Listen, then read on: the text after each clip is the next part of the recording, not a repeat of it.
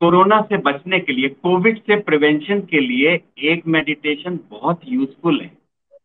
वो है ओशो का नादब्रह्म ध्यान प्रयोग।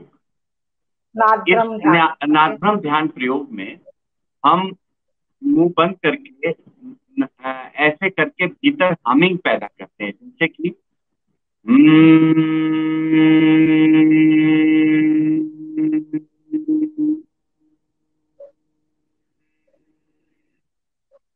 जब इस प्रकार से हमिंग पैदा करते हैं तो भीतर जो साइनसेस हैं इसकी जो लाइनिंग है एंडोथीलियम की वो एनो रिलीज़ करती है नाइट्रिक ऑक्साइड इस पर बहुत प्रयोग हुए। और एक प्रयोग कनाडा में अभी सक्सेसफुल हुआ है वो लॉन्च भी हो गया है प्रोडक्ट आने वाला है मार्केट में सैनिटाइज नाम से स्प्रे उसका काम ये होता है एनो को रिलीज़ करता है। तो okay. वो वायरस को तुरंत किल कर देता है।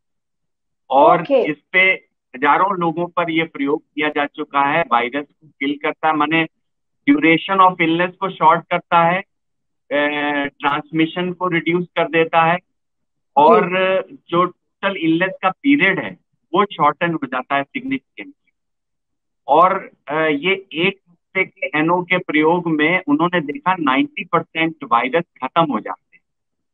और एक महीने में तो 99 परसेंट खत्म हो जो कि सिग्निफिकेंट है। और ये एनो प्राकृतिक रूप से जनरेट होती है जब हम इस प्रकार से हमिंग करते हैं। तो ये ध्यान प्रयोग मैं सभी को सुझाता हूँ for prevention of Covid nothing is better than this Osho Nadabrahma ध्यान प्रयोग। Just do humming thirty minute ये पूरा प्रयोग सिक्स मिनट का है। बट स्वास्थ्य के लिए जो थर्टी मिनट है वो प्रमाणित है कि ये कोरोना वायरस को किल कर देता तो फॉर प्रिवेंशन फॉर ट्रीटमेंट मैं कहूँगा कि रिड्यूस तो करता है। एक्चुअल में इसके मैं कोविड के बारे में थोड़ा सा बता दूँ यहाँ पर आ, चलते चलते कि शुरू में जो एक हफ़्ता होता है वो वायरस के मल्टीप्लीकेशन का होता है। जब सिम्टम आते हैं बुखार या खांसी या जाड़ा लगता है जुकाम होता है तो एक्टिव मल्टीप्लीकेशन फ़ेज़ होता है। उसके बाद उसके टॉक्सिन रिलीज़ होते हैं। अगले हफ़्ते में जो एकदम से लंग्स में मॉटलिंग होने लगती है। और फिर उसके कॉम्प्लिकेशन से ही डेथ होती है। Yes, तो इसमें जो ये प्रयोग है नादब्रह्म का ये सबसे ज़्यादा प्रभावकारी है जो वायरस मल्टीप्लीकेशन फ़ेज़ है। यानी कि जब हम उसके एंट्री को ही रोक दें। माने शुरू में मल्टीप्लाई ही ना कर सके। तो ये सबसे प्रभावकारी प्रयोग है बचाव के लिए। जो उस व्यक्ति को कॉम्प्लिकेशन हो गया उसके लिए नहीं उपयोगी है। जो अभी वेंटिलेटर पे है उसमें तो टॉक्सिन काम कर रहे हैं फाइब्रोसिस हो गई।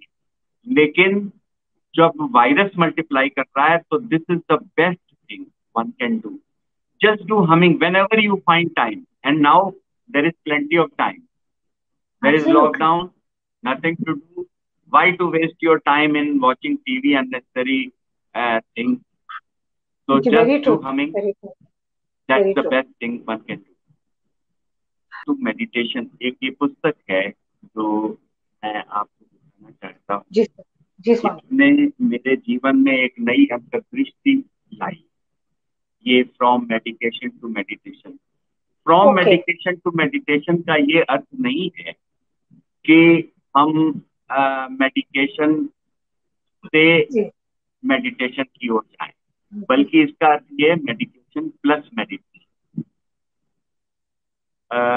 जो औषधियाँ हैं जो उनका भी पूरा ध्यान वैज्ञानिक रूप से ले उनका सेवन करें और ध्यान साथ में जुड़े।